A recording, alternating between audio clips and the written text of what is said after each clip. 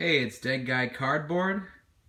I'm back with a long-awaited video of my finally completed T206 Johnny Kling back run.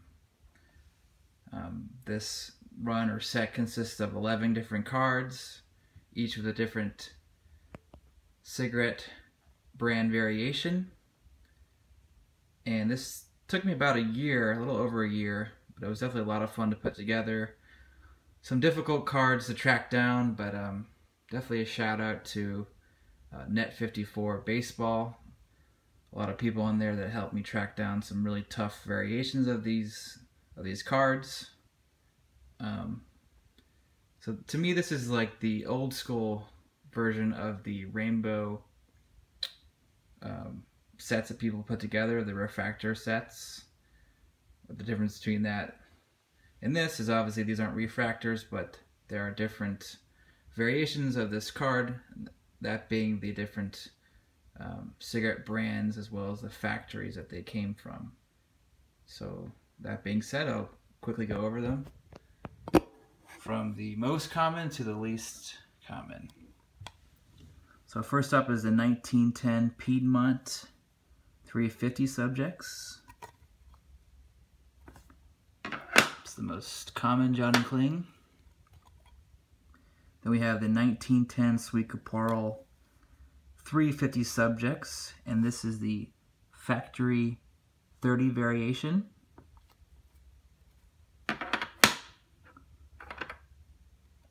And then we have the 1910 Sweet Caporal 350 subjects, but this is the tougher factory 25 variation of these Sweet Caporal 350 subjects.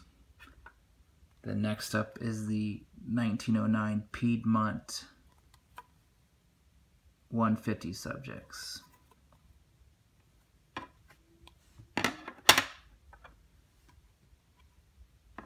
Then we have the 1909 Sweet Caporal 150 subjects, and this is the factory 30 variation.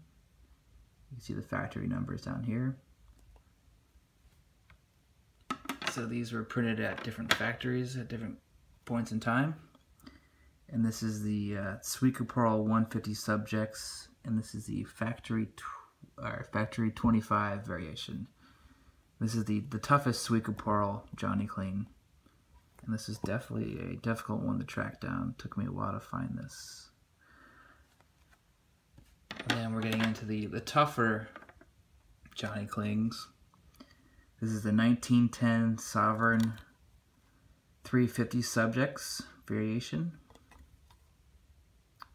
Nice card. And then we have the 1909, what's listed as the 1909 to 1911 Old Mill. But um, the Johnny Kling was only, this particular card only ran from 1909 to 1910, but SGC just lists the entire run of Old Mill cards because it's hard to determine which date this old mill came from.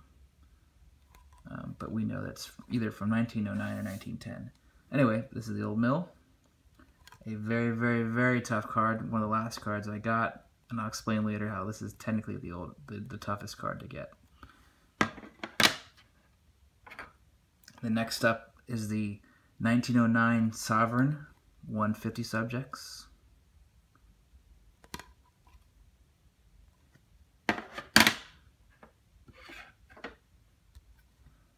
And then we have the 1909 to 1911 uh, of Principe de. This is most likely from 1909.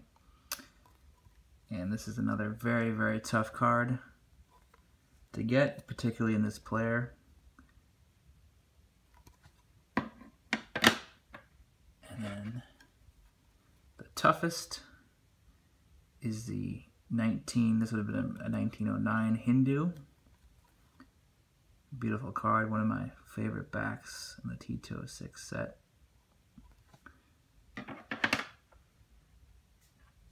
So these are all of the different backs that you can get with the Johnny Kling.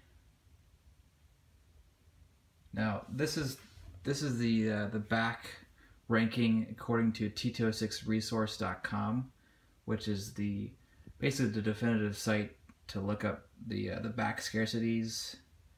Um, however, different cards have different players and different cards have different uh, rarities, even even within that back scarcity list they post. So what I was saying before that this old mill is actually the toughest card to get for Johnny Kling.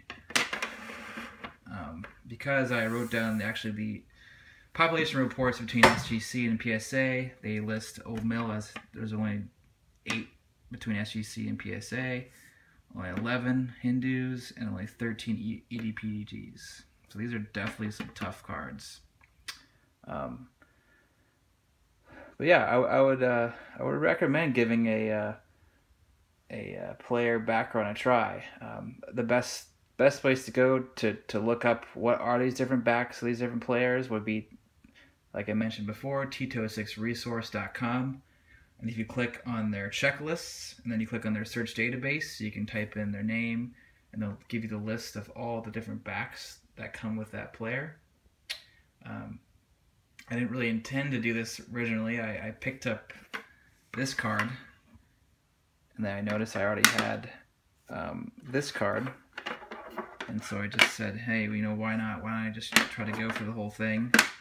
Because there's only 11 cards in this particular back run. Um, some of the T206 players have a lot more than 11 cards, and they have some very, very difficult backs like Carolina Brights and Drum. And um, and also, you know, I always loved this portrait, and um, Johnny Kling was definitely a good player at the time. He was a minor star, and um, at one point he was considered um, in talks of being inducted to the Hall of Fame because he was part of the the legendary 1908 Cubs when they won the World Series. Um, yeah, and so again, I'd like to give a shout out to Net54. A lot of the members on there helped me track down some of these tougher variations. And um, it was definitely a lot of fun putting this set together. So that's it. Thanks for watching.